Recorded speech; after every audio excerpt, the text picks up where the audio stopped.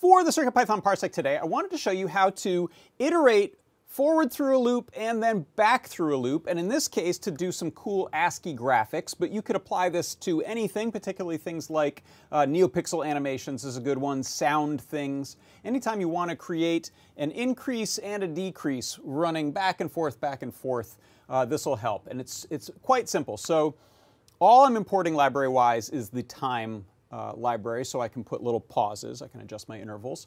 Uh, then I have an integer variable called len for length, length of 10. So that's how many times I'm going to loop forward and then how many times I'm going to loop backward. My interval is the time period, so that's how quickly this happens.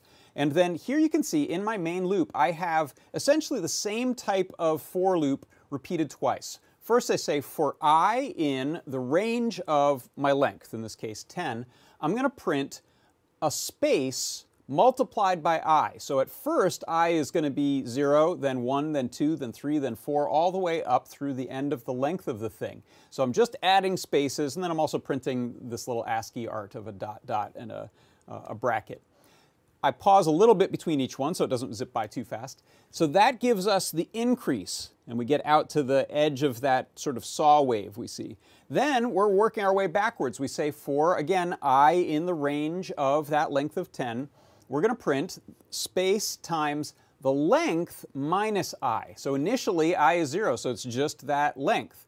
Then the next time through, we're going to be increasing i. So we're going to take length and subtract 1 from it, 2, 3, 4, 5, 6, 7, 8, 9, all the way through until we reach the end and then loop back through. And so this is one way you can really clearly and easily loop forward and backward through a range.